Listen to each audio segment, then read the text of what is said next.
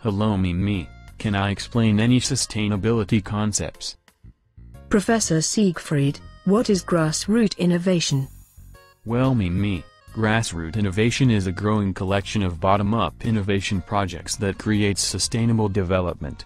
It involves using frugal resources to create innovation in creative ways that has a deep respect for the environment. Examples of grassroot innovation include furniture recycling schemes, organic food cooperatives, low-impact self-housing developments, farmers markets, cycle networks, local car clubs, and community composting schemes.